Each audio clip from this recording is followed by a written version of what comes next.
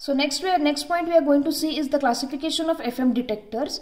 So uh, basically FM detectors are converted into two types, direct types and indirect types. So in direct types it is classified into three types that is frequency discriminators which is also called as slope detectors.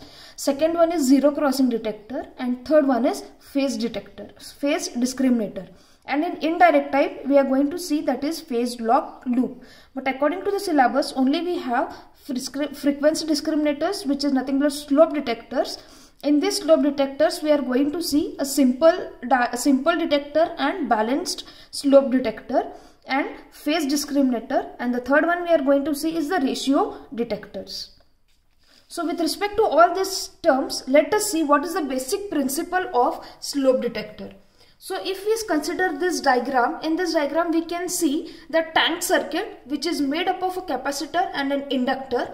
And with respect to that we have added one resistor and in input we are going to take a frequency input which is variable and as the frequency is variable through this resistor the capacitor is going to charge and the value of inductor is going to vary that is nothing but it is going to change and accordingly the output is also going to change. That is nothing but the frequency modulated signal is applied at the input to this tuned circuit. That is nothing but this circuit is nothing but a tuned circuit in which frequency input variable uh, frequency input is given as an input to this tank circuit and we know for the frequency signals we are going to see FC will be the center frequency where at the right side that will be fc plus del f and at the left side it will be fc minus del f. So the center frequency of FM signal is fc and the frequency deviation del. Therefore the resonant frequency of the tuned circuit is adjusted to fc plus del f. The amplitude of the output voltage of this tank circuit depends upon the input frequency variable. So what does this circuit tells us that according to the frequency input, the output of the signal is also going to vary. So output is basically depend upon the input. So this is the basic principle of slope detector. So let us see what do you mean by simple detector. So in this simple slope detector, we can see that the output voltage, so whatever is the output taken across this tuned circuit, this output is basically further connected to a simple diode, sorry, a simple slope detector. So the output voltage of this tank circuit is then applied to the simple diode detector with an RC load with a proper time constant. So with respect to this time constant, the RC load is very important and this RC load should be with proper time constant.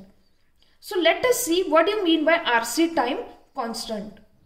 So this RC time constant is nothing but if we see in this tuned circuit the capacitor as I told you earlier the capacitor C is going to charge through this resistor itself and this capacitor is going to charge till the input frequency till input frequency which is basically taken at least for 63 to 63.2 percent and also this capacitor is going to discharge through this resistor only till 32 or 36 percent.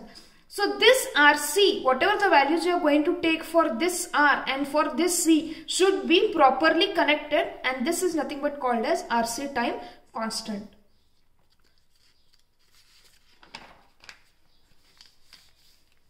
So this is the simple diagram for simple slope detector.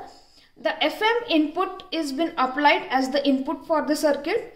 The diode D is taken at the uh, receiver side and at the output we are going to take is the AFM or AF modulating signal. So this is the basically the transformer which is tuned to FC and the secondary winding is tuned to FC plus del F. So what is this simple diode detector states that according to the input frequency this FC, FC the uh, transformer first winding is connected to FC and the transformer second winding is tuned to Fc plus del F. So according to the input frequency, the diode D is going to conduct and similarly this RC filter is also going to work and with respect to this RC filter, all the ripples are being removed and finally you are going to get AF modulating signal at the output. So this RC filter will filter out all the high frequency ripple and produce the modulating signal at the receiver side. Therefore, this detector is identical similar to that of AM diode detector. So what are the advantages of this simple detector is only advantage it is its simplicity. That means as the circuit is very simple, the operation is very simple. But as the circuit, the disadvantages of this is that it is insufficient, it is linear over a limited frequency range it is difficult to adjust the primary and secondary windings of the transformer and the fourth disadvantage is that it should be tuned slightly different frequencies. So with respect to all these disadvantages, to overcome all these disadvantages, we are basically going to see the balance slope detector. And this is nothing but the characteristics of the simple diode detector. As you can see, this is the frequency deviation at the input which we are going to apply. So as the frequency is going to apply, the output of the circuit is nothing but we are going to get as the amplitude variations at the output. So at the output also basically we are going to get the frequency signals only but that frequency signals is adjusted according to the amplitude. So even though if you are going to apply the frequency deviation at the input the output you are going to get in the form of amplitude variations.